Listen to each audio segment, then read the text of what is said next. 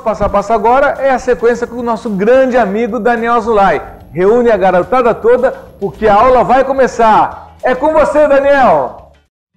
É isso aí, Roberto. Artes na TV e Daniel Azulay, não é azulejo não. Estou aqui para compartilhar ideias, experiências, dicas de técnica de desenho para você aperfeiçoar o seu traçado, poder expressar através da sua imaginação o que você gostaria, o que você, gosta e o que você gostaria de fazer é, é, pintando set, vamos dizer assim. Eu tenho desenhado muito, como vocês sabem, fazendo livros, desenhos, e esses, essas ilustrações, todas têm um traço comum, que é a, é a construção do desenho. Né? Uma revista como essa, como é um, é um, é um, folheto ensinando técnicas de como jogar tênis, né, o esporte, da raquete, do Guga, olha aqui. É, tem desenhos com, muito, com muitos detalhes, tem desenhos técnicos, mas isso vem com o tempo. E a gente pode produzir, é, iniciar o nosso aperfeiçoamento no desenho, elaborando ilustrações com formatos mais simples. É isso que eu vou mostrar agora para vocês, o desenho que eu vou fazer, mas sempre lembrando que é um caminho só de ida. Quanto mais você desenhar, precisa de três coisas para poder aprender e desenhar, é, melhorar o desenho. Três coisas: desenhar, a segunda, desenhar. A terceira, desenhar. Ou seja, a prática faz toda a diferença. Não adianta a teoria só, não adianta os melhores livros, não adianta você achar que é, é, é, é, é só no plano do pensamento, não. É uma experiência é, sensorial, de percepção, de memória. Você olha, você entende o que você está vendo e você desenha aquilo que você está vendo. Com a prática, você vai cada vez mais é, é, elaborando isso aí. Muita gente quer fazer desenho acadêmico, desenho é, como se fosse fotografia. Com a prática, tudo isso vem.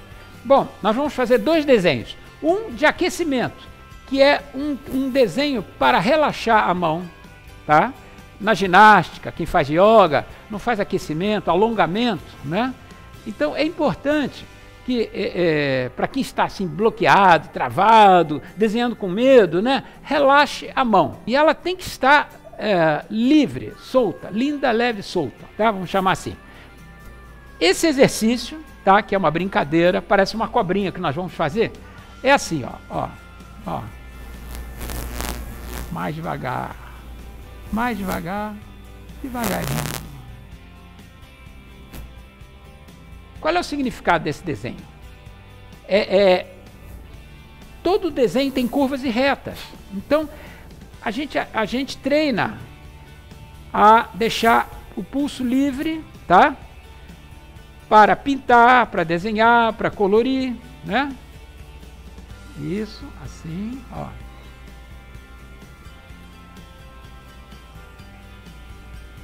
Pronto. E agora, vamos fazer assim, ó.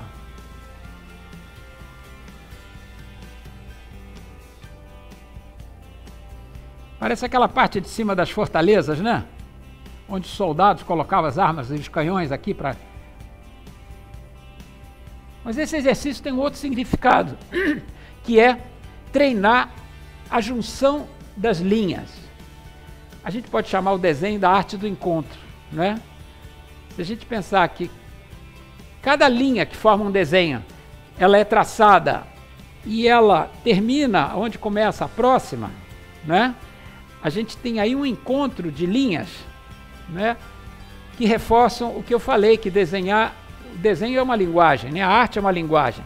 Assim como nas palavras, nas frases, né? a gente desenha a letra e forma palavras e frases e expressa o nosso pensamento. Aqui a gente tem é, essa linha juntando com a outra, né? direto. Né? É, é diferente de fazer assim, né? Aí depois vem, emenda aqui, depois emenda essa aqui assim. Não, para treinar o pulso, faz direto. Linhas retas, linhas curvas. Agora, eu sempre prometo, né? Tem que cumprir o que prometido. Vou dar uma ideia criativa para você enfeitar suas peças de artesanato com esse tipo de exercício, que seria a serpente, né? A cobra, a cobrinha. Vamos fazer uma cobra simpática. É, eu vou, eu vou fazer um, um traçado assim, pegar um, um, um lápis aqui que não seja muito muito forte, só para dar um movimento dela, né? Ó, que assim, ó.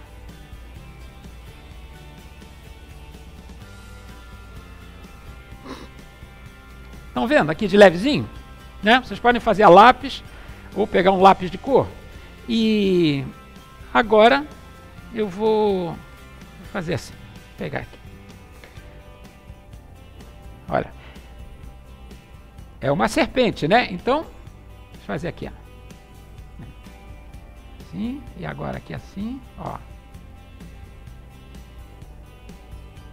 Estão vendo como é que essa linha guia, ó.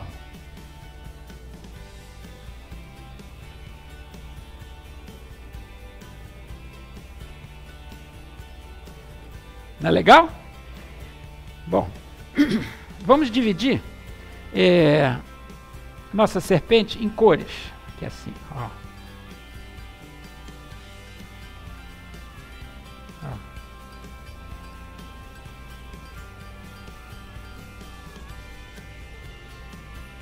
Pronto. E e que mais? Bom, agora vamos começar a colorir. Agora a parte mais legal, né? A gente pode é, pintar aqui. Vamos deixar um espaço aqui, assim. Pintar essa parte aqui de, de laranja, tá? Ó. Aqui assim, ó. Agora aqui.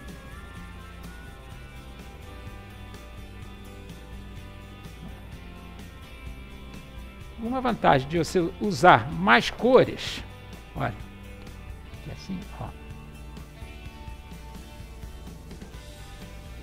Aqui, ó. Olha aqui assim, ó.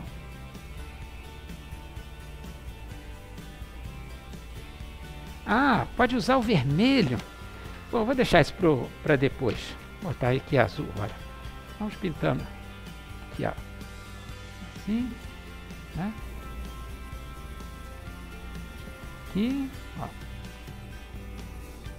Assim, ó. Você pode usar também lapiseira, pastel, tinta acrílica, né? Ó. Aqui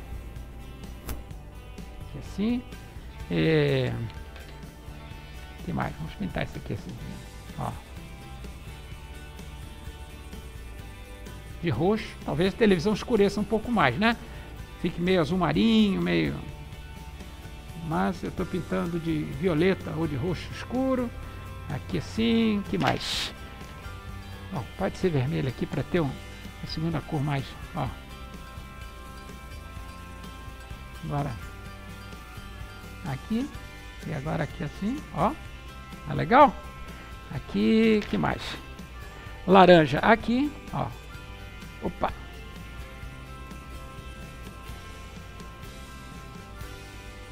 Aqui, ó. Isso é azul, ó. Pronto, ó. Aqui. Tá, tá, tá, tá, tá. Vamos fazer aqui assim, ó.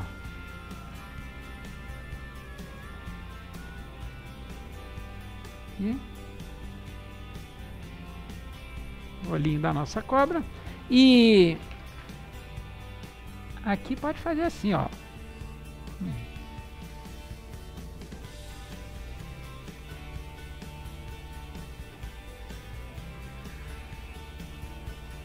A, a língua da cobra tem aquele V, né? Assim. E para dar uma ideia de colorido com outros materiais, aqui eu tenho o, olha, o pastel seco, né? Fazendo assim, ó. ó. ó você pode fazer também um sombreado assim, ó. ó. Tá vendo? E vou fazer assim, ó. Assim. E aqui. E terminar com verde. Ó. Tá? Para não alongar muito, que o nosso tempo já vai ficando curtinho. Mas eu vou dando uma ideia aqui que você pode colorir. Um a um, cada uma dos desses gomos, vamos chamar assim, né, da, da cobra, e você tem uma cobra decorativa para enfeitar suas peças de, de artesanato, né? Ó. É, tá bom? Gostaram da ideia aqui? Ó, Daniel Daniel Azulay. Aí, para vocês no Artes na TV, com um recadinho para a garotada, a partir dos 10 anos de idade, na Rio Artes Manuais, é de 15 a 19 de março, né? Eu vou estar lá, vou estar desenhando com vocês, convidando a todos para mandar é, que vocês possam mandar suas obras de arte, suas pinturas para a nossa galeria de arte, que nós também vamos levar para expor na Rio Artes Manuais, tá bom? Então quero mandar um abraço para todos e ó, bons desenhos, e é com você, Roberto.